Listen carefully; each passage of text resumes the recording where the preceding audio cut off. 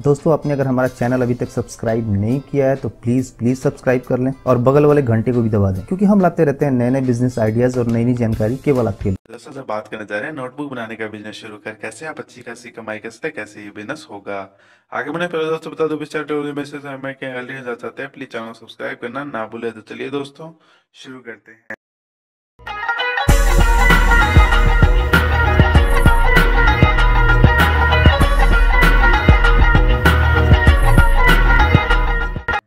दोस्तों, आज हम इस आइडिया की नहीं, बल्कि एक रियलिटी की बात करें, कैसे बिज़नेस किया जाता है, कैसे प्रॉफिट कमाया जाता है दोस्तों। अगर आप एक अच्छा बिज़नेस पहले साल से ही अच्छी कमाई करना चाहते हैं तो ये सही समय है।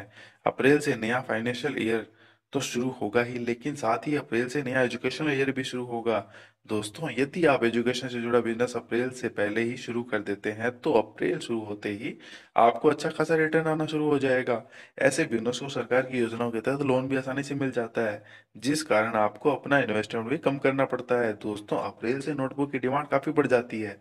यदि आप मार्च में यह बिज़नेस शुरू करते हैं तो एक माह में आप अपना बिज़नेस अच्छी तरह से जमा सकते हैं। इस एक माह के दौरान आप अपना नेटवर्क भी खड़ा कर सकते हैं और अच्छी खासी प्रोडक्शन भी कर सकते हैं, ताकि डिमांड होने पर आपके पास नोटबुक की कमी ना हो जाए। दोस्तों, वैसे तो नोटबुक की डिमांड पूरे साल बनी रहती है। दोस्तों, अगर आप नोटबुक का बिज़नेस शुरू करना चाहते हैं तो आपके पास कम से कम चार लाख रुपए तो होने ही चाहिए। इसके बाद आप मुद्रा स्कीम के तहत बैंकों से लोन के लिए अप्लाई कर सकते हैं।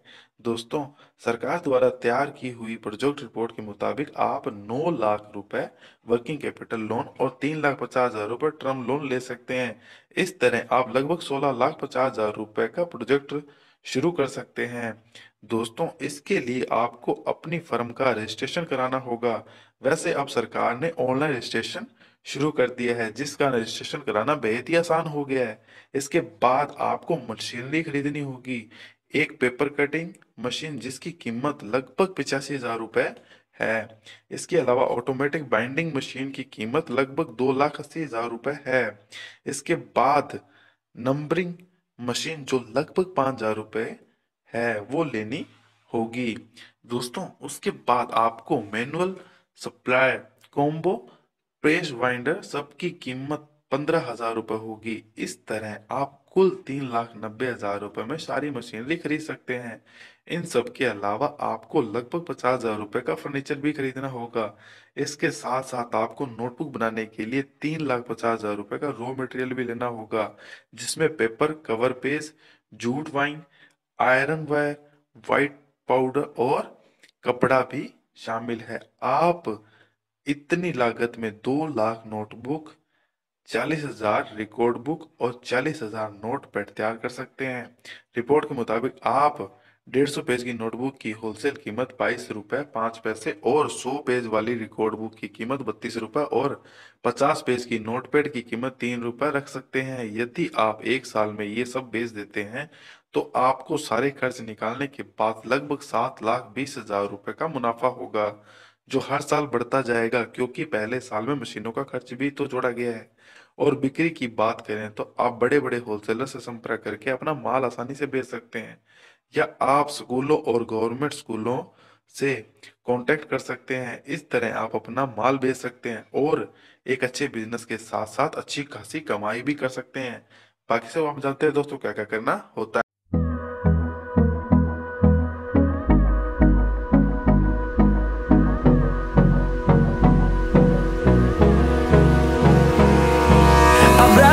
Toda la noche, no nos queda mucho tiempo más.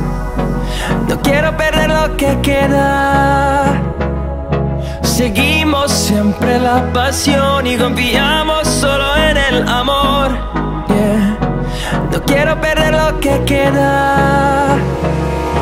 Y más y más allá. A través de la gran oscuridad me convierta en rayos.